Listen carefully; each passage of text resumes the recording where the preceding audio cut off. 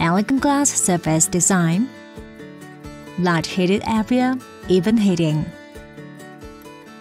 Sensitive touch buttons to control. Put a magnet to the bottom of the cookware. If it works, it's suitable for the induction cooktop, or else it's not.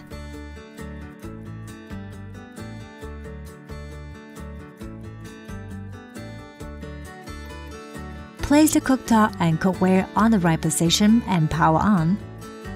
Press the power or temperature button to make the power setting.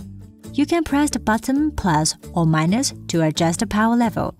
You can set the temperature mode by pressing the power or temperature button and adjust it as before. When reached to the setting temperature, the induction cooktop will beep and eliminate to alarm. Press the clock to enter the timer function.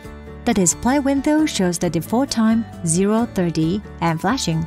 You can adjust the cooking time from 1 minute to 3 hours.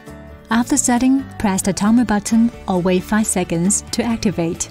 The display window will show the timer or power level alternately. Press the timer button again to cancel the countdown. The cooktop will beep and turn off automatically after the countdown. After cooking, press the power button to turn off the unit. If there are no more action within 16 seconds or place the wrong cookware, it will shut down automatically. Please check whether the cookware is suitable or not.